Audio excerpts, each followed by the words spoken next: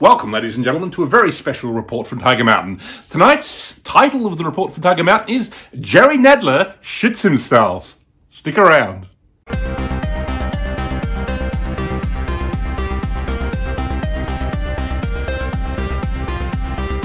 Yes, ladies and gentlemen, you're in for a special report from Tiger Mountain. It's not often on a report from Tiger Mountain that I just play a, a video, a one minute video uh, of um, an American politician. But I think, you know, it's a special moment here. It's a special moment, and I wanted to I memorialize this special moment because I have a very special video to show you. And it's of um, Jerry Nadler, the uh, US politician who um, has been a huge enemy of President Trump, who was a huge part of trying to impeach him, was a huge part of the Mueller probe and just, you know, endless, endless treachery against the American people. And uh, in this particular video, he shits himself at the podium. So I thought it was a very special video. And he's just part of a certain kind of community. I don't know how to put it into words, really, but you, I'll read you some other members of this community who've been huge enemies of President Trump and really of the American people. Of course, there was Rosenstein, who again tried to invoke the 25th Amendment against Trump very early on. There's Schumer, who's a huge, like, you know, he's basically the penguin um, from um, Batman. You know, he's the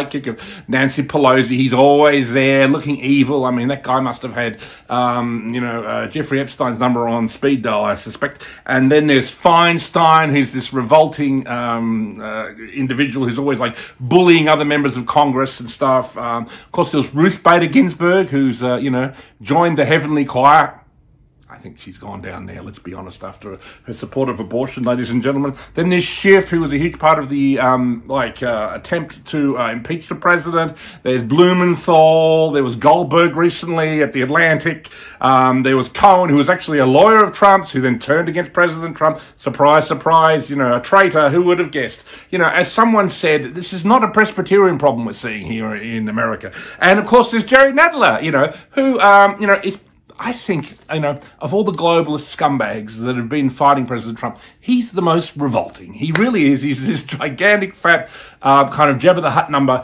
And um, he actually recently just shat himself at the podium. And I thought the video was so special because it somehow sums up um, 2020 for the globalists, this video. So I'm going to let, let Jerry Nadler take it away here in this video. Take it away, Jerry Nadler. Do your best. And uh, that'll be the report from Tiger Mountain for today. So stick around for Jerry Nadler shits himself.